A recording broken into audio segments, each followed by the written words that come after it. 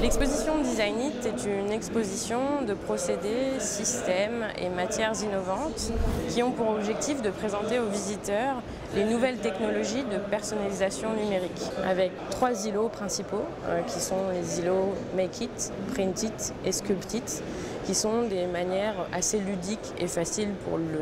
celui qui va découvrir l'exposition, le visiteur,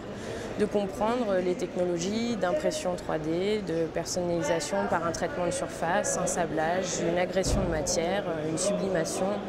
Bref, toutes les technologies qui aujourd'hui euh, peuvent exister sur le marché. Aujourd'hui, le marché de la personnalisation numérique euh, est vraiment un marché qui se démocratise à l'échelle du designer et de l'utilisateur. C'est un marché qui est extrêmement bien maîtrisé euh, à l'échelle industrielle, mais qui aujourd'hui avance sur de nouveaux marchés, le marché de l'art notamment, le marché du prototype de designer et pourquoi pas le marché de l'ameublement. C'est pour ça qu'aujourd'hui je pense que